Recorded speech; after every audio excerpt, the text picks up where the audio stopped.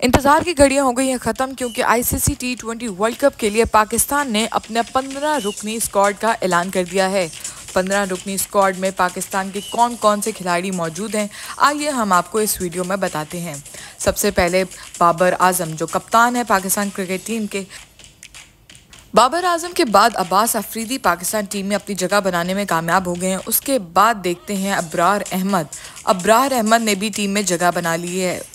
मोहम्मद आमिर ने भी रिटायरमेंट के बाद अपना पहला मैच यहाँ पे खेलेंगे। उसके बाद आज़म खान टीम में मौजूद हैं। पावर हिटर आज़म खान भी टीम में मौजूद हैं।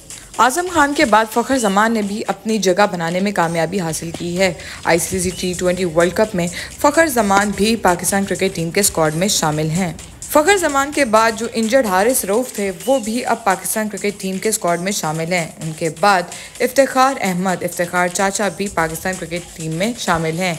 इफ्तार अहमद के बाद इमाद वसीम ने भी कम किया है। नसीम शाह भी पाकिस्तान के स्क्वाड में शामिल हैं। मोहम्मद रिजवान भी पाकिस्तान क्रिकेट टीम के स्क्वाड में शामिल हैं। मोहम्मद रिजवान के बाद शादाब खान ने भी अपनी जगह बना ली है स्क्वाड में। शाहीन शाह अफरीदी भी पाकिस्तान क्रिकेट टीम के स्क्वाड में शामिल हैं।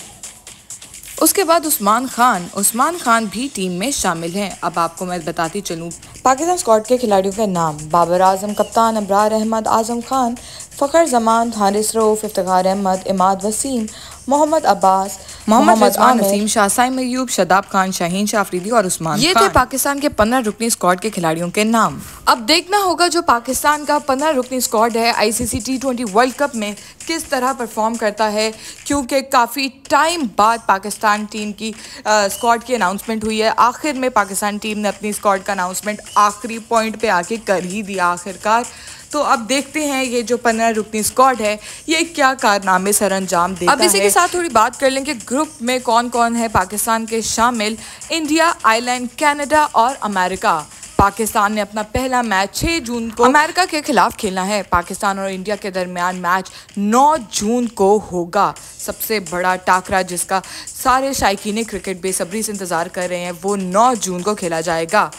जबकि पाकिस्तान अपना तीसरा मैच कनाडा के खिलाफ 11 जून को खेलेगा और 16 जून को पाकिस्तान अपना आखिरी मैच आयरलैंड के खिलाफ खेलेगा। अगर अभी तक आपने हमारा चैनल नहीं सब्सक्राइब किया तो चैनल को ज़रूर सब्सक्राइब करें।